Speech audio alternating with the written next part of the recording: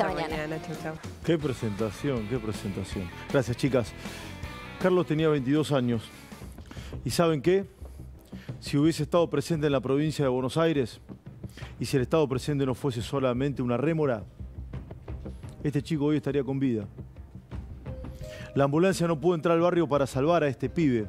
En Visitatí, sur del conurbano, partido de Quilmes, pegado a Bernal, porque no había patrullero.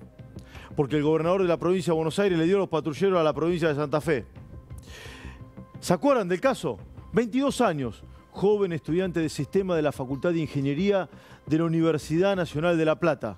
Estaba caminando hacia la parada del Bondi para ir desde Quilmes a La Plata a estudiar, a rendir un parcial el sábado a la madrugada. Siempre cuando se subía al medio de transporte le mandaba un WhatsApp a la mamá, vieja, estoy en viaje. Ese WhatsApp jamás llegó, porque dos hijos de una gran siete lo sorprendieron en el camino y le partieron la cabeza con un fierro y le robaron la vida, lo más preciado. ¿Saben quién fue la primera persona en llegar al lugar? En pleno Villa Itatí, partido de Quilmes, la madre. Un rato de hablar con la hermana. La primera persona en llegar al lugar es la madre, desesperada, antes de las 7 de la mañana. Llamó a la ambulancia. Fíjense esto, noten esto. Esta es la prueba más cabal, acabada, contundente y objetiva de la incapacidad del gobernador de la provincia de Buenos Aires, Axel Kisilov, y de parte de los intendentes, entre ellos Mayra Mendoza, de Quilmes. Miren esto, miren esto. 6.21 de la madrugada, todavía de noche, el día sábado, sale el despacho del pedido para que ingrese una ambulancia. 23 minutos más tarde, pasan la dirección Misiones entre Falucho y Formosa. Negativo herido de bala, masculino, golpeado en la cabeza, estaría inconsciente. Se solicita móvil policial. La ambulancia está adentrándose en Villa Itatí, un lugar peligroso, caliente, muy inseguro. Está en la periferia de Villa Itatí. Quiere entrar al lugar para socorrer, para rescatar a Carlos. Pero para entrar al lugar necesita un patrullero porque si no, no puede. Por la inseguridad, no puede. Solicita móvil policial. Clarito esto, ¿eh? Solicita móvil policial. La hora 6.24 de la mañana. La ambulancia estaba. Estaba la ambulancia. 7 y 18. Miren, casi una hora. 7 y 18. Casi una hora. Carlos en el piso. Seguimos a la espera de panorama del móvil policial para enviar el móvil del SAME. Seguimos a la espera de panorama de móvil policial para enviar el móvil del SAME. En otras palabras, che, mandame a la policía que no podemos entrar, flaco. Dale, mandá a la policía. Desde el primer llamado, 621, hasta, hasta la segunda respuesta, pasaron 58 minutos. 57 minutos, para ser más precisos una hora desde que llaman a la ambulancia hasta que la ambulancia le dice, che, que venga el móvil, desde el primer llamado hasta el, hasta el, tercero, casi una hora, 57 minutos. Esto sigue. Miren si son poco útiles o inútiles, o poco capaces o incapaces. Eso sí, hoy hice una protesta, ahora se lo voy a mostrar. 7 y 26, una hora después. Comunicación interna nos refiere que trasladaron por sus propios medios al paciente. A Carlos lo subieron a un auto de un vecino, junto con la mamá y lo llevaron al sanatorio de Wilde. Se murió en el auto. Se murió el auto en la calle. Una hora, una hora, Axel. Kisilov, una hora esperando el patrullero, una hora, está todo documentado, esto es oficial, una hora esperando el patrullero. Vos se lo diste a Puyaro, vos le diste los patrulleros que pagan todos los bonaerenses al gobierno de Santa Fe. ¿Dónde están los patrulleros? ¿Por qué no hay patrulleros? Una hora tardó un patrullero en Quilmes y Carlos se murió. Lo mataron. Una muerte que se podría haber evitado. ¿Saben por qué no se evitó? Por la ineficacia, la impericia, la inobservancia de los deberes a su cargo. De los funcionarios que están, tienen la obligación y la responsabilidad de cuidarnos. No nos cuidan, nos descuidan. A Carlos lo dejaron morir en la calle. Hoy detuvieron a dos personas. Ya voy a ir a hablar con la hermana de Carlos. Mientras todo esto sucedía, Kisilov, el ministro de Seguridad, un tal Alonso, y la intendenta, nada dijeron del tema.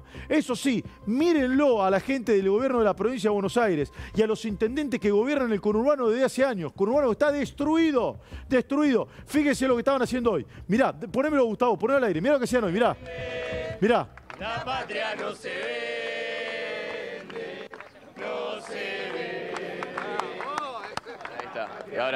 Mira, mira, mira, mira, mira, mira, mira, vení, vení, vení, vení. Mira, todos se ríen. ¿De qué se ríen? ¿De qué se ríe esta gente? Vení un minuto. ¿De qué se ríe esta gente? La que se reía ahí, dame la foto. La que se reía ahí en primera fila era la intendenta de Quilmes. Donde no. La, tenés a la derecha. Ahí, frena ahí, frena ahí. Frena ahí, el pelo cortito la intendenta de Quilmes. La patria no se vende. ¿De qué, qué hace esta gente? ¿De qué se ríen? ¿De qué se ríen? No mandaron el patrullero. Le pidieron hoy al gobierno de Miley que están paradas las obras públicas en la provincia, lo cual es cierto. Ahora, ustedes hace años que gobiernan el conurbano. El conurbano está destruido y lo gobiernan ustedes. ¿Qué es culpa de Miley en seis meses? ¿De verdad? ¿Qué? ¿Y a este pibe que lo dejaron morir en la calle porque no llegó el patrullero para que pudiese ir la ambulancia? ¿Qué? Se estaban riendo. La patria no se vende. ¿Qué gritan? ¿Qué cantan? Esta gente le toma el pelo a la ciudadanía sobre todo a los buenos, como Andrea, que es la hermana de Carlos. ¿Cómo? Andrea está en el móvil con Pablo Corso. Vamos a hablar con ella. Ya, ya en Libares nos da más datos del caso. Gracias, Pablo, querido. ¿Cómo te va Esteban? Buenas tardes. 72 horas de dolor, bronca e indignación. Bien lo relatabas en la apertura, ¿no? Más de tres días de buscar una respuesta y no encontrarla. Estamos con Andrea, quien amablemente nos recibe. Andrea en representación de esta familia que está destrozada aquí en Villa Tatí, partido de Quilmes. Bien lo decías también, ¿no? Con el aliciente, el alivio, entre comillas, ¿no? De dos detenciones, uno de ellos menor de edad de 17 años, pero que quizás no llena, no satisface las expectativas de la familia. Estamos con Andrea, está triste, está congojada, pero todavía tiene esperanza, esperanza de que quizás se haga justicia por Carlos. Bien lo describías, ¿no? Carlos Carlitos, como le decía su familia, y un detalle que no menor, ¿no? El próximo 26 de julio hubiera cumplido 23 años. Esteban, Andrea, en representación de la familia, te escucha. Andrea, te Hola, abrazo. buenas tardes. Gracias por atendernos. Gracias por atendernos. No sé si, no sé si No, escuchaste lo, lo- lo que planteé y demás, pero decía que a tu hermano lo podrían haber salvado, porque el patrullero tardó más de una hora, la ambulancia no pudo ingresar al lugar. Si hubiese estado el patrullero, la ambulancia lo podría haber rescatado y quizás hoy tu hermano esté con vida. ¿Es así? Sí, es así. La policía eh, tenía que haber estado patrullando en ese momento. Eh, tenía que, pero bueno, no, tampoco no se dieron las cosas, ¿no? No, no sé qué decir en ese caso. Andrea, tu mamá estaba, entiendo, pegada a tu hermano, que tu hermano estaba en el piso. Tu mamá entiendo que trató de reanimarlo. Sí. Eh, tu mamá estaba desesperada, trató de llamar a... a- No. a- ¿no? ¿Cómo fue? A ver, contá- va, si querés, si podés. No, sí, este, mi mamá estaba en casa con él, ya mi, mi hermano se iba a ir a estudiar, a rendir un examen de la facultad. Y nosotros tenemos un, este, como un zaguán, un porche chiquitito, que mi mamá desde ahí siempre, cuando, cuando no quiere este, acompañarlo, bueno, no quiere, no, cuando no puede acompañarlo, lo que sea, siempre lo ve de ahí, siempre nos vemos, desde ahí siempre. No, mi hermano fue todo derecho y dobló en misiones y mi mamá lo vio, lo vio que doblaba ahí todo, vio cómo, cómo caminaba, todo para allá. Y también vio después a dos personas pasar y como que se quedó medio intranquila, como ella dice, el corazón de madre no se equivoca. Y lo que hizo fue esperar un ratito y empezar a preguntarle cómo estaba, si ya había llegado al, al- al colectivo, si ya estaba llegando. Y nunca respondió.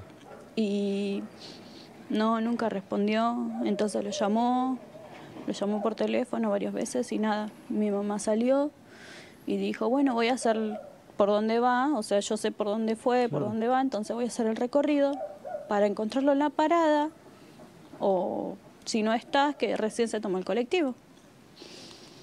Y eh, mi mamá salió hasta Misiones y, Misiones y en Misiones lo vio a mi hermano tirado en el piso con mucha sangre en la cabeza, boca abajo. Y mi mamá primero fue a ver si respondía, si no respondía, y salió corriendo de nuevo a mi casa y empezó a golpear la puerta, a gritar, Andrea, Elizabeth, tu hermanito. Salió de nuevo a verlo a mi hermano y me llamó por teléfono y yo fui corriendo a verla. Me dijo, acá en Misiones y Falucho, me dice. Me fui corriendo. perdón, ¿y tu hermano estaba con vida ahí? en el piso. ¿Estaba con vida tu hermano ahí? No. No. No, ya no estaba con vida. Yo fui a verlo y le hice así con mi dedo en su nariz y no, no respiraba. Yo pensé que yo había sido la que había sentido, no sé, ¿no? De los nervios y no.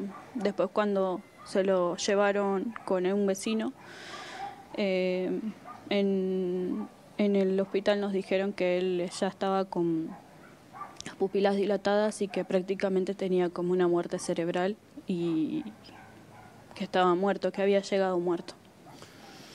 Andrea, eh, se ha dicho, hoy hay dos personas detenidas, ahora vamos a contar algunos datos y te voy a hacer algunas preguntas vinculadas vinculado con ello. Ahora, eh, ¿alguien te llamó del gobierno, del municipio, para asistirte, para acompañarte, para abrazarte, para darte alguna explicación? Eh, ¿O no ha sucedido nada de ello? Sí, sí. No, sí, vinieron para la Secretaría de Apoyo Psicológico eh, la policía también está, está atenta. Eh, vinieron, a, vinieron a, brindarnos apoyo, nos llamaron por teléfono. Sí, estaban atentos, están atentos.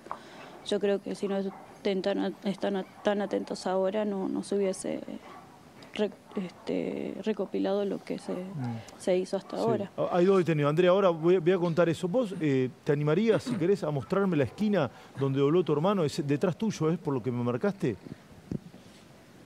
Sí, es detrás mío, es doblando a la, a la derecha. Sí, es una calle de tierra. Ahí veía que pasaba una camioneta del municipio y está todo roto ahí. Eh, claro, por ahí. De, de, noche me imagino que no va a haber, debe haber muy poca luz, ¿no? Eh, sí, de noche no, no hay mucha luz. Mm. ¿Y es un barrio muy seguro o no? Habían arreglado y... ¿Cómo? ¿Es un barrio muy seguro? Muy seguro. Sí, es muy seguro. No, este... Siempre se escuchaba que, que robaban. O sea, ya eso se sabía siempre. Pero no, este... Nunca así, o sea, porque a él le robaron las cosas. O sea, aparte de, pegarle, le robaron las cosas. Claro, Yo creo que si a él le hubieran pedido las cosas, él se las hubiera dado y listo. Eh, Andrea, eh, Jean Livares nos, va a contar cómo fue el procedimiento de hoy para detener a dos personas, uno de los cuales tiene 17 años, se cree que son los asesinos de tu hermano. Dale. Durante la madrugada, Esteban Rodrigo F., tiene 24 años, es uno de los detenidos que tiene ahora la causa y un menor de 17. Obviamente Andrea va a sentir con nosotros, es la última información que nos ha brindado la policía. Bueno, el propio Javier Alonso lo confirmó hoy por la mañana en La Nación Más a la mañana con, Tomás Díaz Cueto. Y además también tenemos que comentar, Esteban, que se realizan tareas investigativas para encontrar el objeto contundente con el cual la madre eh, de Andrea comentaba que encontraron al lado del cuerpo de Carlos con eh, manchas de sangre. Eh, Andrea, yo no te quiero robar, no te quiero robar más tiempo. Sé que has estado muy solicitada en las últimas horas y sobre todo en un momento de gran congoja y angustia. Y no es para menos. Eh, Andrea, te mando un abrazo enorme, hacerlo extensivo a, tu mamá y también a, tu hermana. Gracias de, verdad por, eh, por, tu tiempo. Muchas gracias, eh, lo de la canción. ¿Podría poner una, una canción de él? Sí, por supuesto, claro. Por favor. Sí. ¿Qué, qué es? Contanos él, nosotros éramos músicos, cantábamos, tocábamos y mi hermano grabó una canción hace mucho y nos los pasaron y la verdad que Yo quiero que lo recuerden a Carlos así y que, que sepan que él era bueno, que él, él era muy bueno. Dios. Mientras sale el tren, sintiendo que no te voy a ver más. Me saludas, sabes que me matas, sintiendo que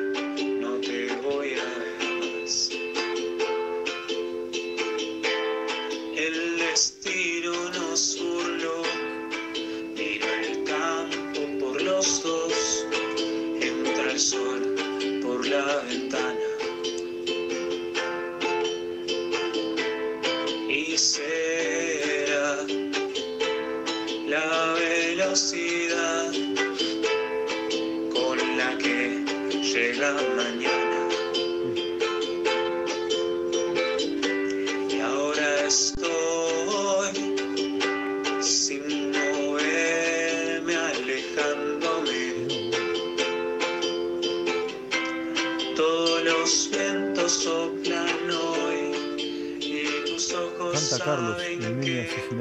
Todos Lo había grabado antes, por supuesto. soplan hoy.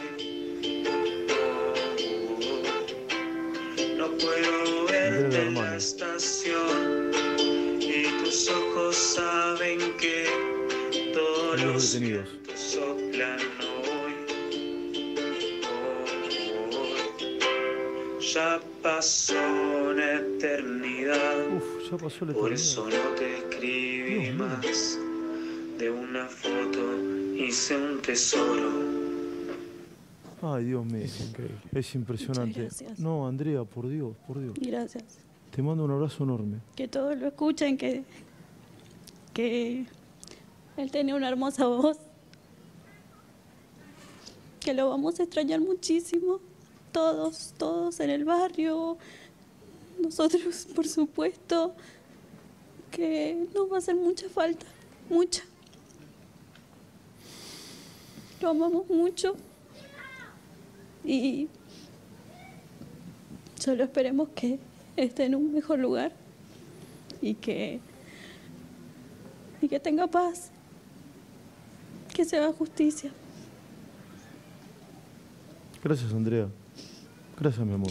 Gracias. No, Gracias, gracias a ustedes. Gracias de verdad. Gracias de verdad. ¿Sabes qué?